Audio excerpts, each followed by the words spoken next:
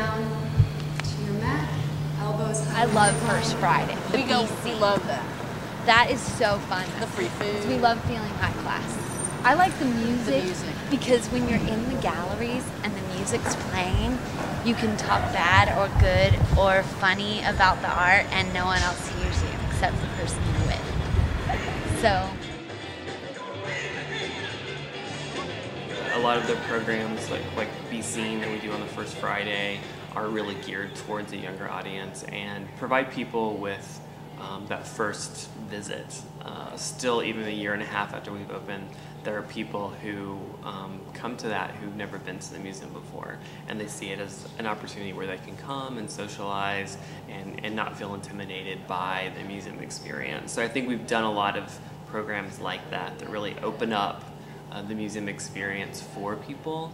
Um, my name is Brian Wisenhunt, and I'm the manager of public programs here at the Blanton Museum of Art. When the museum was in the process of opening in 2006, the year before, we went through an extensive branding process and worked with um, several different people in Austin and figuring out what the museum was going to be about. We created a brand promise, which is extraordinary experiences connecting art and ideas. So it's like if you're interested in cooking and you find out we're doing a cooking class, then you come, but we take you from the cooking class into the galleries and give you a connection to the collection that way. So we're not just doing lectures about art history or art appreciation. Um, we're doing things that perhaps are outside of your uh, general museum experience that approach the collection from people's other areas of interest, whether that's music uh, or cooking, um, yoga, things like that. You're not supposed to talk in a museum. Here we are oming in a museum. It's, it's, it's really great to take yoga out of context. And so take the people out of the context. You know, sometimes I say, you know, while you're here, you can look at some art because it's kind of, you know, it's just a way to hopefully get people in the museum who either haven't done yoga before or have never been in a museum before. My name is Olivia Silver. I teach yoga outside the Blanton. Um, I also work at the Blanton, so um, that helps make me feel nice and comfortable here. The biggest surprise has been the different types of people who have shown up. I mean, I thought it was all going to be students or it was all going to be faculty. I didn't know. I had a very wishy-washy, but it has just been everyone. Just run the gamut. Whoever you think. What's the artist's fullest expression? What are they trying to communicate to us, the audience? So while you practice tonight, I'd like you to set.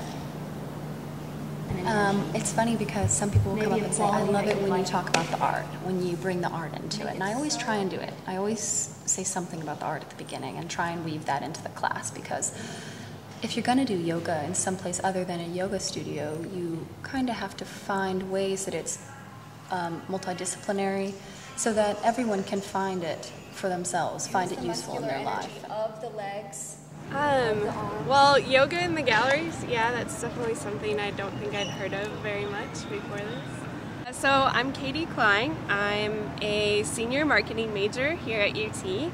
I am the docent chair for the Blanton Student Guild. Um, I think one of the biggest differences is, I mean, it's really different in terms of collection and the purpose of its collection. It's a, I mean, it's a university museum, it's a teaching museum. I think I've just, I mean, I've seen a lot of museum stuff, and so I, I kind of had an idea of the different stuff that could be out there. Um, though I think the Blanton's done a lot more than other museums, especially older institutions, as far as like bringing in the younger crowd.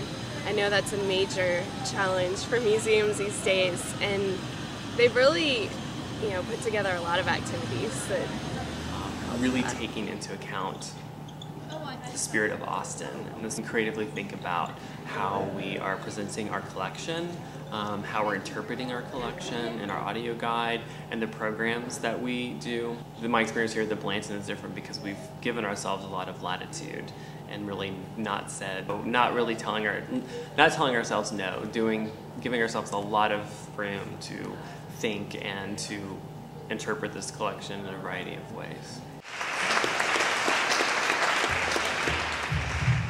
She can't look at me.